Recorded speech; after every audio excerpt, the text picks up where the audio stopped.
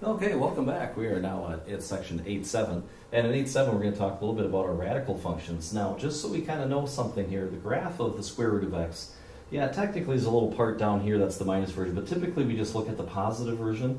And we're going to talk about the domain is that all x values are greater than or equal to x, because we really can't take the square root of a negative number. Now, the range itself is going to be also y is greater than or equal to 0, because we're just using that branch of it right there. Now, when we talk about the cube root of x, look at the cube root of x. There's no restriction whatsoever because we can take the cube root of positive and negative numbers. So the domain is that x is all reals.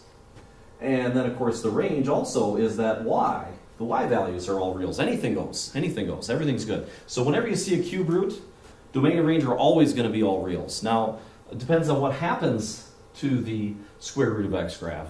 Uh, that's going to determine uh, again, what the domain range. If we move it up, obviously we're going to change the range. If we move it left or right, we're going to move. We're going to change the range, uh, domain just a little bit as we do that. So be aware of that. So let's look at a couple of those here.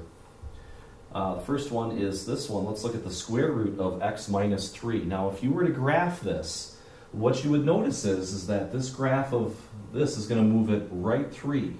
So 1, 2, 3, if you were to graph that. Don't be afraid to use Desmos or your calculator get the graph. The graph's going to look something like that.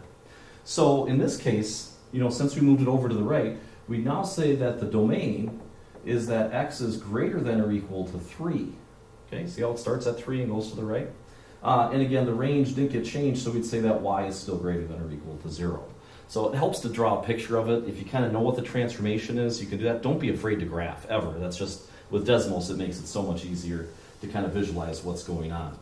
All right, so once again, let's go to the next one here. We now have, okay, so now this is a cube root graph. We're going to vertically stretch it by 2 and move it right to. Uh, it doesn't matter what we do to it.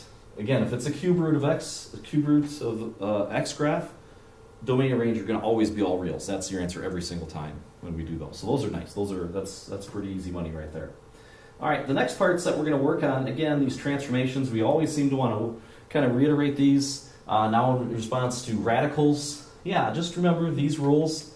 Again, you can see this in the slides. I'll send you the PowerPoint slides for 8.7. Uh, you can always refer to these as an example. Um, again, as we look through those, it's also in the book. You have that online textbook you can always look at too and find those pages as well in 8.7. So what we want you to be able to do now is if we give you uh, equation, we want you to be able to tell us what's it going to do. Now remember, plus 5, and when in doubt, graph it. Right? Now that just moves it up 5. Right, up 5. All right, and then here, well, if we go plus 1, that's going to move it up 1. Mm-hmm, we know that. We can see that. All right, now what's this one going to do? Now, if we multiply out in front by 1 half, remember that's a vertical compression. Vertical compression is what that does. Squeezes it down. That's what happens. All right. Let's try a couple more. Now, it doesn't matter if it's a square root or cube root. That's just the parent function. Remember, if it's a negative out front, that's a reflection across the x-axis and then that's going to also move it right forward. So we want to be able to identify these transformations. And like I said, when in doubt, graph it if you're not really sure. All right, now with the negatives underneath the radical, that reflects it across the y-axis, and then plus 3 moves it up 3. All right. And then this one's kind of a big kahuna here, lots of them. Now the negative out here does a reflection across the x. This is a vertical stretch of 3, and that moves it down 1. So we want to be able to identify and describe all of the transformations that are being done. Okay? Now, the other thing we're going to do is kind of switch things around. We're going to give you the parent function, square root of x, and we want you to perform these transformations. So we're going to start square root of x. We want to reflect it across the x-axis. Well, that puts a negative out front. Compress it vertically by a factor of 1 fifth, so just put a 1 fifth one, and then down 5. Minus 5. So if we give you the transformations, you should be able to convert the rule. If we give you the rule, you should be able to identify those transformations. That's 8-7.